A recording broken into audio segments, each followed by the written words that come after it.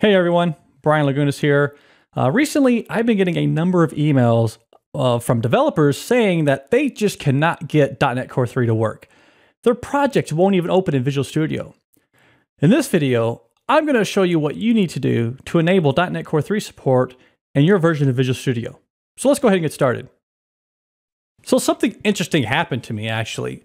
I recently upgraded my version of Visual Studio to version 15.9. So what I'm going to do right now is I'm going to show you exactly my experience of when I did this and what happened when I opened up my first .NET Core 3 app. So I'm going to start by launching a .NET Core 3 app right now. Let's see what happens with this newest, latest version of Visual Studio. So far, so good. Ah, crap. Apparently, something's not working. I don't know what it is, but let's go ahead and hit OK and see what we can find out. So I have an output message saying, look, my project file is incomplete, expected imports are missing. Well, I know this is not the case because my project file markup is perfect, right? So something else is the issue. Well, come to find out, if you're running Visual Studio 15.9 or greater, and to find that out, just go help about Microsoft Visual Studio. And you'll see right here, I'm running 15.9.3. Okay, so if you have 15.9.x, you're gonna have this issue.